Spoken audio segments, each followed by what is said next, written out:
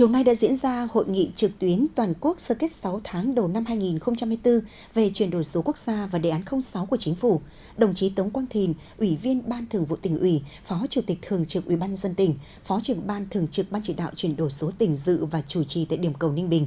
Cùng dự có các thành viên Ban chỉ đạo chuyển đổi số của tỉnh, lãnh đạo một số sở ngành địa phương. 6 tháng đầu năm, dịch vụ công trực tuyến, tỷ lệ hồ sơ trực tuyến toàn trình, tổng số hồ sơ thủ tục hành chính cả nước đạt 42%, bộ ngành đạt 61%, địa phương đạt 17%. Kinh tế số 6 tháng đầu năm ước đạt tăng trưởng 22,4%, chiếm tỷ trọng 18,3% trong GDP.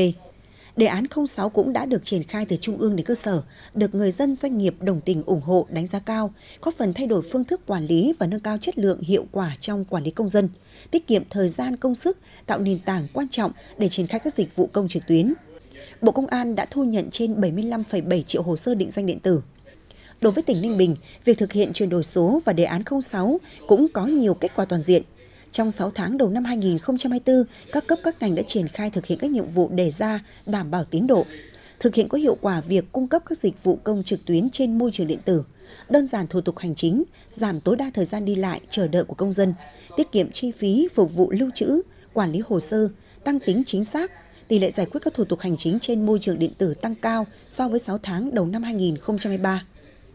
Chính phủ yêu cầu trong 6 tháng cuối năm 2024, các bộ ngành địa phương tiếp tục nâng cao công tác tuyên truyền về vai trò tầm quan trọng của chuyển đổi số, xây dựng cơ sở dữ liệu của bộ ngành địa phương, chia sẻ kết nối vào cơ sở dữ liệu quốc gia. Các bộ trưởng, chủ tịch Ủy ban nhân dân các tỉnh thành trực tiếp tổ chức, thúc đẩy thực hiện các nhiệm vụ chuyển đổi số, phát huy vai trò của người đứng đầu. Các bộ ngành địa phương phân công nhiệm vụ rõ người rõ việc, rõ trách nhiệm với quyết tâm cao, nỗ lực lớn, hành động quyết liệt, thực hiện dứt điểm, không giàn trải, cần huy động sự vào cuộc của toàn hệ thống chính trị cũng như sự tham gia tích cực của toàn dân, lấy người dân, doanh nghiệp làm trung tâm chủ thể, mục tiêu thụ hưởng kết quả từ chuyển đổi số quốc gia.